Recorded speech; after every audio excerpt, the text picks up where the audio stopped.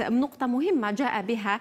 إذا برنامج ومخطط عمل الحكومة وهي تنظيم مهرجانات في قطاع السينما السينمائي والسمعي البصري. للحديث حول هذا الموضوع مشاهدينا سعد باستضافة كل من عبد الحميد بوحالة المكلف بالإعلام لدى مهرجانات عديدة سابقا. أهلا بك معنا. صباح الخير زميلتي فريال صباح الخير سميرة. جمعة مباركة لكم ولكل مشاهدي تلفزيون النهار. شكرا لك. يحضر معي كذلك سيد عصام تعشيت وهو آه، محافظ مهرجان إيمد غاسن السينمائي مرحبا بك معنا. الله يسلمك. شكرا على الاستضافة ويعطيكم الصحة. الله يعيشك. شكرا لك. طيب بداية مهرجانات غائبة والحجة كورونا. آه، في الحقيقة خاطئ من يقول من يعتقد أنه المهرجانات غائبة بحكم كورونا. نحن ك... أنا كمدير إعلام مهرجان إيمد غاسن السينمائي والسيد المحافظ بجانبي ما نظمنا مهرجان إيمد غاسن السينمائي في طبعته الأولى السنة الماضية في مارس ببروتوكول صحي ولم تكن هناك ولا إصابة وكانت الطبقة الأولى ناجحة من جميع الأصعدة وبشهادة كل ضيوف المهرجان وعلى رأسهم المخرج القدير أحمد راشدي الذي تحدث وتحدث كل الناس عن هذا المهرجان ونجاحه بأقل التكاليف. فبالتالي أنه نعم هناك كانت ظروف استثنائية مرت بها الجزائر. بعد بالحراك آه، كانت كانت كانت جمهورية جديدة. نعم إحنا استبشرنا خيرا. وبالتالي كانت فكرة أننا ننظم المهرجان. ونظمنا المهرجان والحمد لله رب العالمين شهادة الميلاد البرنامج مهرجان إيميد غاسن السينما على كل لسان. فبالتالي زميلتي فريال أنه لا لا لا, لا لا نمسح الموس في في في الحراك وكورونا فقط، هناك أسباب أخرى آه، أعتقد أنها ليست موضوعية في تأجيل جميع المهرجانات إلى أجل غير مسمى ولسنا ندري متى مع أنه كما قلت في برنامج الحكومة والمخطط الحكومي الجديد. الحكومي الجديد الذي الذي عرض على المجلس الشعبي الوطني هناك آه، آه، فكرة الصناعه السينماتوغرافيه كتجارة وكصناعة انه انه المشروع بدأ من المفروض بعد المصادقة على البرنامج من المفروض انه يبدأ في في في تنفيذ هذا هذه الصناعة السينماتوغرافية. ولكن أعتقد انه الوزاره الوصية هي السبب اولا في تحريك هذا هذا الملف على كل حال بحكم أنه في المخطط 200 قاعة سينما تابعة للبلديات من المفروض تتحول إلى إلى وزارة الثقافة لتوزع المؤسسات المؤسسات والدواوين التابعة للوصاية لتحريك هذا هذا المشروع. هو هي من بين أسباب. نعاودوا نروحوا نعاودوا نقولوا لك سيد بوحالة ونتحدثوا على أسباب أخرى الخفية اللي وراء كل كل هذا، طيب سيد عصام تعشيت أنت نموذج من الشباب اللي اللي كنت من بين منظمين المهرج مؤسس كذلك. نعم مهرجان مدغاسن آه، السينمائي. ويعني راهنتم في في إقامة المهرجان في عز الكورونا. طيب آه، ما الذي ينقص اليوم راكم تقولوا باللي المهرجان كان له صدى إيجابي آه، على الصعيد السينمائي والثقافي في الجزائر. ما الذي ينقص اليوم لإقامة مثل هذه المهرجانات؟ خاصة آه، أننا اليوم يعني مازال ما خرجناش 100% من يعني كباقي الدول من هذه الأزمة. صراحة قبل هذا نحب نقول حاجة أنه نحن كمحافظة نفتخر لأنه قمنا بمهرجان في عز الكورونا في نعم. وقت آه، بالك آه، ولا مهرجان كان ولا مهرجان سينمائي كان موجود في هذا العامين اللي مروا علينا نعم. نحن نفتخر كمحافظة لأنه قمنا بهذا الإنجاز باموال قليلة جدا يعني إحنا هذا المهرجان وقفنا عليه وعملنا ولكن ما لقيناش يد العون اللي اللي تعاوننا وتمد لنا يد العون باش نقدروا طيب يد العون هذه أنا حابة نعرف شكون هما؟ بون باش تكون رسالة مباشرة يعني لهم يد, يد العون إحنا شوفي إحنا إحنا ما نستناوش وزارة الثقافة فقط هي اللي تدعم إحنا ما كمحافظة ولا كشباب ولا ما. نلوموش فقط وزارة الثقافة إنه ما دعمتش ولا ما عطاتش ولكن كل تضافر كل جهود من من شركات خاصة من مدعمين من هذو ناس كامل يهمهم هذا المهرجان. يعني هو آه، مهرجان بوكو بلي صريح اقتصاديا سياحيا.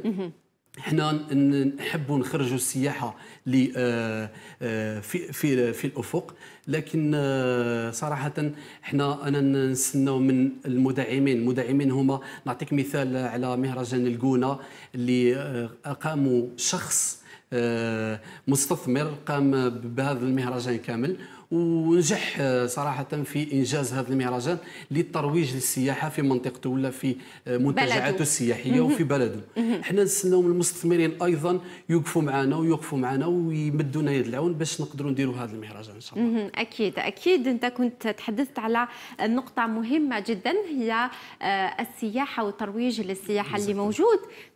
طبعا في البرنامج الجديد المخطط الحكومي البرنامج الجديد هو ترويج السياحة الجزائرية عبر الثقافة عبر القطاع الثقافي.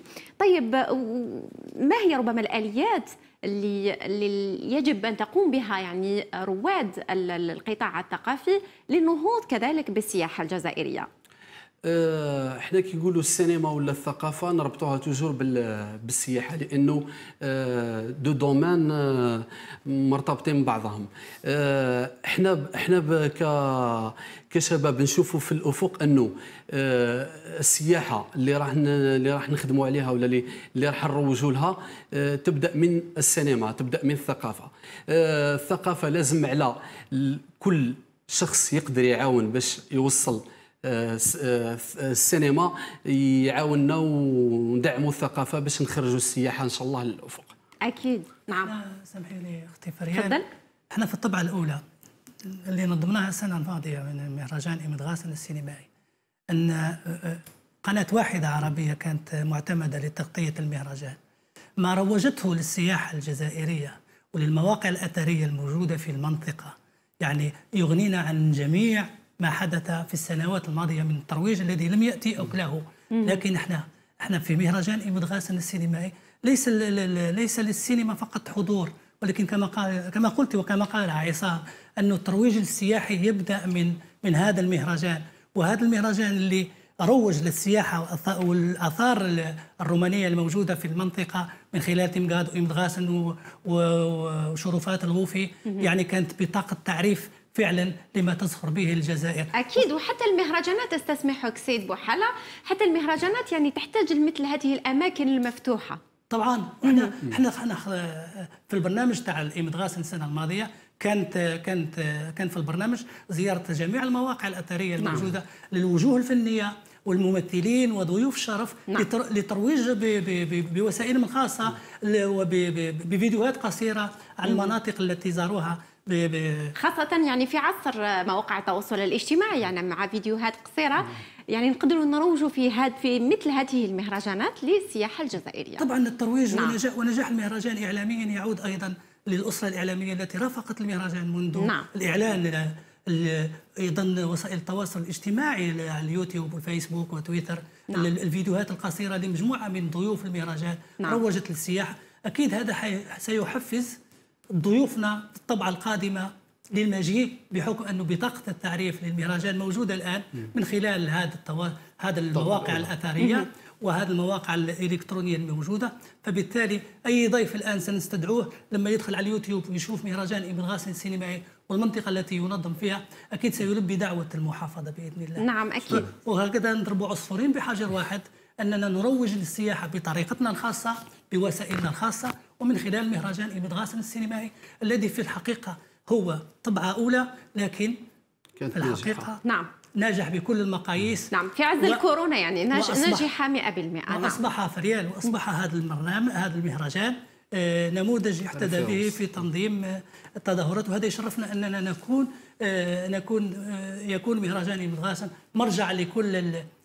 المهرجانات الموجودة في التنظيم وهذا شرف لنا في الحقيقة. أكيد أكيد سيد بوحالة آه، يعني تتضمن أجندة مهرجانات والفنيه والثقافية في الجزائر أكثر من 160 مهرجان آه، اقليميا ودوليا أبرزها نذكرهم كامل باش تكون عندهم يعني آه، صورة نوضحوا الصورة أكثر. مهرجان تيمقاد مهرجان جميلة مهرجان وهران للفيلم العربي. مهرجان عنبة للفيلم المتوسطي مهرجان إيماد غاسن للسينمائي مهرجان الثقافي الوطني للموسيقى الأندلسية وغيرها. مهرجان مثلا آه، بجاية الدولي للمسرح مهرجان المسرح المحترف وغيرها يعني لأنه الثقافة الجزائرية راهي متعددة. وكذلك المجالات متعدة في, في, في, في يعني في المهرجانات. آه، أين هي هذه المهرجانات؟ بقي في المهرجانات فقط المهرجان فيلم الملتزم. ومهرجان على ما أظن آه، مهرجان دولي للموسيقى السيمفونيه الموسيقى السيمفونيه الموسيقى السيمفونية. هذا واش بقى يعني من مهرجانات؟ عبد القادر بوعزار فريال نعم. الحقيقة أنه بعد بعد الحراك جاء حراك ثقافي أيضا. الوزارة السابقة كما يعلم عيسى. نعم. آه، عزلت كل محافظي المهرجانات نعم. لعدة أسباب. نعم. ما هو قضائي ما هو سوء تسيير وكذا وكذا. فبالتالي لحد الآن باستثناء كما قلت مهرجان الفيلم الملتزم اللي بقات السيدة زهيره يحيى على رأسه نعم. وعبد القادر بوعزاره على رأس المهرجان الدولي للموسيقى السيمفونية. هذا المهرجان الناجح جدا. نعم. أنا نشتغل فيه كمقلب كمكلف بالإعلام. في الحقيقة لست أدري ما هي الأسباب التي خلت الوزارة الوصية تؤجل المهرجان لثلاث سنوات نعم. متتالية. المشكلة سيدتي هي على المستوى الوزارة. عزلت كل محافظي المهرجانات ولم تعين لحد الآن أي محافظ على أي على رأس أي محافظة من المهرجانات الموجودة كما قلتي ولكن ما أعتقدش أنه هذاك الرقم تاع المهرجانات بقي لأنه كثير من المهرجانات لم يبقى لم يبقى 160 يعني هو هي مهرجانات ضخمة. نعم. حسب الوزارة اللي آه، وزارة الثقافة في عهد آه، ميهوبي بقاو 73 مهرجان لأنه لغى مجموعة كبيرة من المهرجانات قال لك اللي آه، ما عندهاش أسباب مالية ربما. آه، نعم. أسباب مالية exactement mais المهرجان إمدغاسن السينمائي باش نفهموا الجمهور إنه راهو مهرجان مستقل مستقل على آه، الوصاية. آه. خارج طيب. على وصاية الوزارة الثقافه هي الخاصة. هي راهي مهرجان تابع للتعاونية الثقافية اللمسة التعاونية معتمدة من طرف وزارة الثقافة. نعم. آه طيب.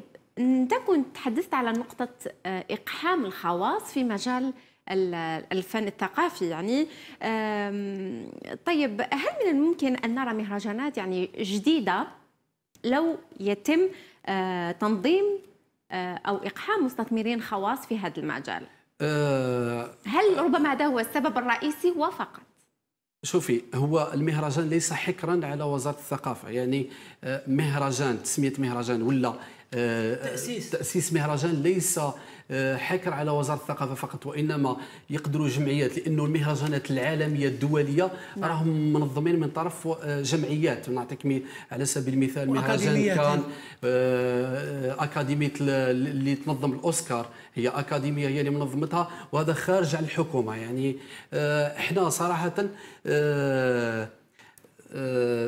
ما عاودي لي السؤال لأنه هل ربما ما هي العوامل المعرقلة آه، من غير يعني مستثمرين خواص باش ندخلهم في هذا المجال؟ يعني من غير هذا من غير هذا المشكل يعني. ما كانش ما كانش مشاكل هو المشكل الأول والوحيد في تنظيم مهرجان هو الأموال. آه، باش تعمل مهرجان لازم المال وباش تجيب أسماء كبيرة يجيوك للمهرجان ويديروا لك الترويج تاع المهرجان تاعك وتشوفوا أفلام كبيرة. وهذا وهذا المهرجان يمد صداه لازم الأموال. الأموال هي المشكل الوحيد في في تنظيم مهرجان كنت تحدثت على نقطه نقطة مهمة اللي هي آه، أسماء يعني tout dépend مهرجانات. هل المهرجان يكون راح يكون وطني ذو بعد وطني أم دولي؟ آه سيد بوحالة هذه الأسماء اللي يتم استقطابهم يعني دوليا إذا إن كان يعني مهرجان ذات بعد دولي. هل بقيت في الجزائر مهرجانات ذات أبعاد دولية؟ آه، أعتقد انه من المفروض أن تبقى هذه المهرجانات الدولية قائمة لأنه المهرجان الدولي راح يسوق لصوره الجزائر في المحافل الدولية. فبالتالي المهرجان اللي عنده تسمية دولية ونجح بين قوسين كما نعم. مهرجان ابن غاسن أو مهرجان الموسيقى السيمفونية آه، يبقى الاعتماد عليهم كمهرجانات دولية ضروري جدا آه، للثقافة الجزائرية لكن إحنا المشكل الآن اللي وقع فيه وزارة الثقافة أنها معل آه، تقريبا كل المهرجانات يا اما مؤجلة يا اما معلقة. لكن الشعب الجزائري يعني راهو حايب آه، ربما يترفه على نفسه. بعد ثلاث سنوات من انقطاع ربما آم، عن الترفيه والسينما ولا غير ذلك. شفناهم يعني يتوجهوا إلى نتفليكس. شفناهم يتوجهوا لربما مواقع عبر النت. لكن آم، أنا ما رانيش هنا باش نقول لك آه، المهرجانات الافتراضية ما نجحتش. لكن ما نروحوا ما نكذبوش يعني على ما نكذبوش عن الواقع. المهرجانات الافتراضية ما نجحتش 100% طبعاً، ما طبعاً. يعني ما نكذبوش نروحوا ورايحة للفئه معينة رايحة لفئة معينة فقط. الشعب الجزائري راهو حايب آه، راهو حايب يشوف مهرجانات على أرض الواقع أو حايب يترفه على نفسه. وش لازم يعني؟ إحنا نتمنى إنه المسؤولين على الوزارة يشاهدوا في- في قناة النهار الآن. هي رساله منك ومني ومن عصام نعم. إلى الوصاية المعنية ب- نعم. أن تعيد تعيد النظر في هذا ال- التعليق ال- لمدة ست سنوات على ثلاث سنوات نعم. لعديد المهرجانات ما قلت لكش نظمي كل المهرجانات نعم. ولكن على الأقل تنظمي المهرجانات المألوفة عند ال- عند الجمهور الجزائري وإعادة هو الشعب ذواق يعني عندنا مهرجانات عديدة يمكن ربما لكل لكل فئة من من من الجمهور الجزائري يحتاج إلى نوع من ال- ال- ال- المجال الثقافي نعم الحجة تاع الحراك والكورونا زالت الآن مع نعم. نسبة انخفاض في معدل الإصابة بكورونا نعم. البلدان العربية كلها فتحت- تحضر فتحت. وتفتح تحضر مع نسبة المهرجانات. التلقيح يعني. آخر آخر مهرجان جرش بالأردن.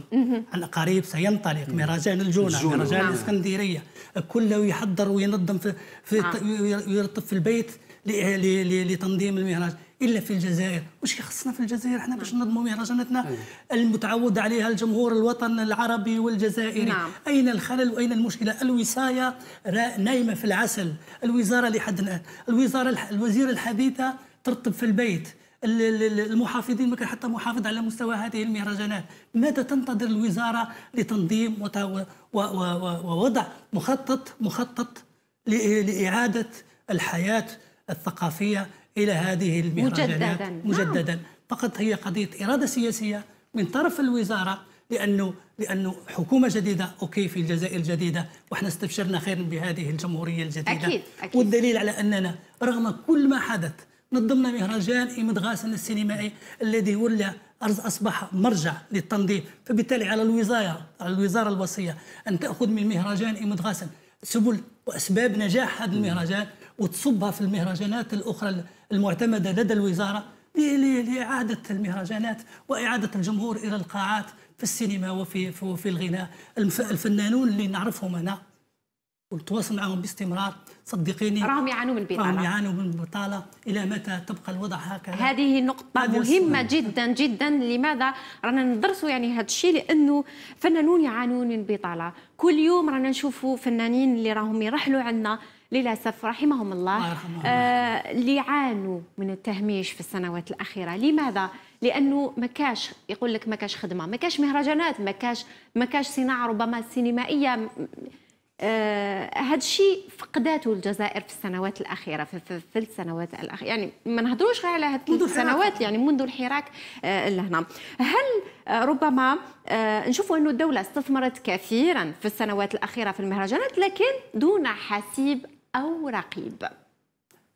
هي هي الحقيقة أنه ما كانش الحسيب والرقيب في السنوات الماضية الماضية.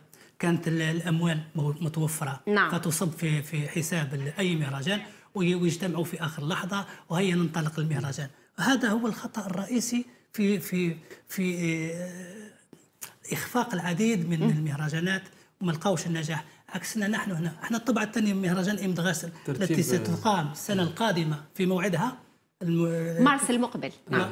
أن نشتغل ترتيب حاليا بدينا في الترتيبات يعني الأولية بعد نهاية الطبعة الأولى بدينا نشتغل على الطبعة الثانية وهذا سر من أسرار نجاح أي مهرجان أنه ما تنظموش في آخر لحظة وتصب لك الوزارة ال ال الوصية. الوصية تصب لك الإعانة المالية باش تبدأ تشتغل في شهر تنظم انت مهرجان مهرجان مستحيل. مستحيل. خاصة إذا كان ليه بعد عربي أو دولي, دولي. يعني مستحيل. نعم. ما ما يصلحش ولكن لو كان كانت الإرادة موجودة على مستوى الوزارة في تحريك المياه الراكدة وإعادة إعادة الروح لأي مهرجان موجود ومعتمد في الوزارة إنها تتحرك. من الآن تعيين لأي محافظ في مهرجان تيمقاد أو جميلة أو أو وهران أو عنابة ويبدأوا يشتغلوا من الآن لإعادة صورة الجزائر الثقافية الغائبة منذ سنوات نعم. على المحافل الدولية والجزائر أي, أي, أي, أي دولة رائدة في الصناعة السينمائية والدولة العربية الوحيدة الفائزة بالسعفة الذهبية في كان. اللي الفنانين الدول الكل تتمنى أنها تفوز بالسعفة الذهبية.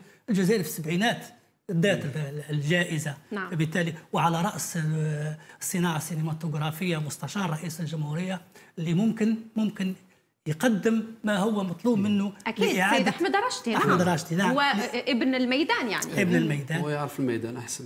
مشروع الحكومة فيما يخص الصناعة السينماتوغرافية مهم جدا وهذا يساعد أيضا المهرجان السينما المهرجانات الموجودة فيما يخص السينما لتحريك عجلة الصناعة السينماتوغرافية. وبالتالي إحنا لما يكون مخرج أجنبي موجود في مهرجان إيمد غاسن وتعجبه المناطق الأثرية الموجودة أكيد حيكون عنده فكرة على المواقع ويقدر يصور الفيلم بتاعه هنا وتكون حركية ويكون رأس المال موجود. لأنه حتى الصناعيين لما شافوا مهرجان إيمد غاسن فآمنوا بالمهرجان ومستعدين لتقديم المساعدة وسنشارك الصناعيين وسيشاركون في تنظيم الطبعة الثانية لأنه شافوا النجاح إمد غاسن فبالتالي عارفين باللي أنه ممكن تعود بالفائدة على الجميع من جراء تنظيم الطبعة الثانية من مهرجان نعم إن شاء الله يعني سيد تعشيد. هل يمكن ربما الاستعانة بالتجارب الأجنبية لكي ربما ننظم مهرجان آه، ناجح 100% والله صراحة آه، عندنا كفاءات كبيرة في الجزائر وتقدر تنظم مهرجانات دولية ضخمة.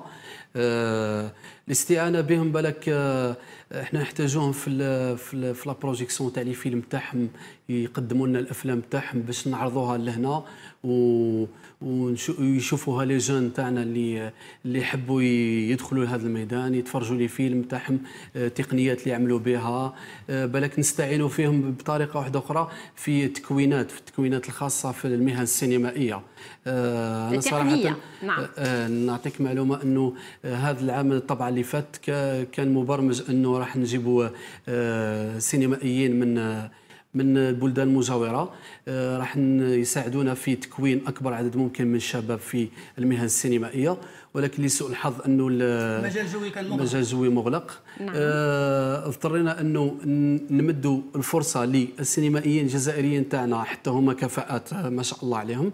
ولكن يبقى السينمائي من خارج الجزائر عنده بالك la touche تاعو الخاصة اللي يقدر يمدها les jeunes ونأطروا أكبر عدد ممكن. donc هذا نعم هذا في مجال اللي نقدر ندخلوا الأجانب باش يأطروا نعم. ختام اذا في ختاما نقدروا نضيفوا حاجة معليش. تفضل. آه bon إحنا كمحافظة آه آه قمنا ب آه فتح فتح, فتح موقع إلكتروني. خاص خاص بمهرجان ايماد غاس السينمائي. آه بإذن الله اليوم راح يكون آه الافتتاح تاعو الرسمي. آه راح يلقاو لا بلاتفورم تاع إرسال آه الأفلام آه على عبر الموقع. نتمنى من آه الشباب لي جون اللي للمشاركة. المشاركة في هذا المهرجان. إن شاء الله. إحنا نغتنم الفرصه بدون رانا في قناة النهار. اولا نشكرك لأنك نفضت الغبار عن عن قليل مما مما يحدث في الجزائر من هذا. هي الثقافة في غرفة الإناث صراحة فبالتالي لابد أن وسائل الإعلام كل تتناول هذه الأزمة الموجودة وهو الغياب الثقافي في الجزائر. إحنا نغتنم الفرصة في رانا في قناة النهار اننا نعلن رسميا عن افتتاح مهرجان ايمد غاسن السينمائي. من خلال هذا الموقع الإلكتروني ستجدونه على جميع المواقع الإلكترونية لإيمد غاسن لبداية التسجيل ومشاركة المخرجين في الطبعة الثانية من المهرجان. جميل جميل جدا. آه، مشكورين على الحضور. سيد عبد الحميد بوحالة مكلف بالإعلام لدى المهرجانات السابقة. وكذلك السيد عصام تعشيت وهو محافظ مهرجان يعني ما شاء الله شاب على رأس مهرجان مدغاسن بالتوفيق إن شاء الله في الطبعة المقبلة. شكرا لكما. شكرا. مشاهدينا الكرام إذا بهذا نختم